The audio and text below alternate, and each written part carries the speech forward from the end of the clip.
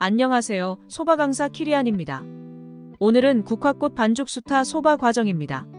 수타 소바를 만들 때 국화 반죽을 하는 이유는 반죽 덩어리에 들어있는 공기를 빼야 하기 때문입니다.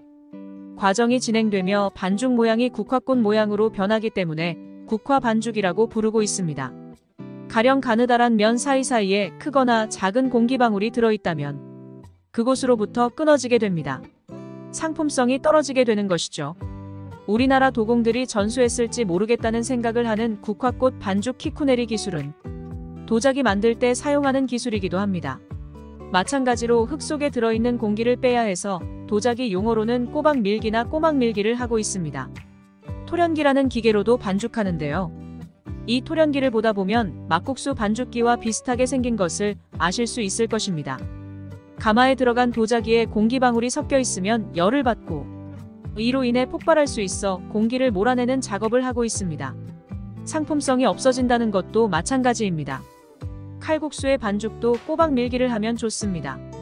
손으로 만들면서도 발로 밟는 효과를 낼 수 있는 것이죠. 다만 반죽이 단단한 관계로 많은 양을 매일 할 수는 없을 것입니다. 앞선 포스팅 반죽편에서도 시계 방향으로 돌아가며 반죽해야 좋다고 말씀드렸는데요. 공기를 빼는 작업도 똑같이 빠진 곳 없이 하다 보면 키쿠네리 이름에 걸맞은 국화꽃 모양의 반죽이 완성됩니다. 중간에 빼먹은 부분이 있다면 예쁜 꽃 모양은 나오지 않겠죠. 기술과 힘이 합쳐지며 아름다운 꽃 모양이 나타날 수 있는데요.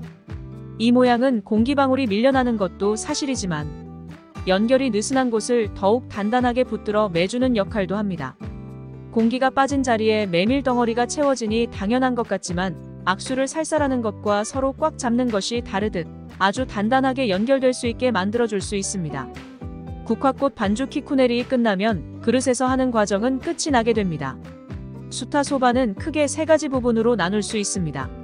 첫 번째가 메밀가루를 만지는 나무 그릇, 키바치 과정. 두 번째가 소바 작업대에서 밀대 과정입니다. 세 번째가 도마와 칼이 필요한 자르기 과정이 되겠습니다.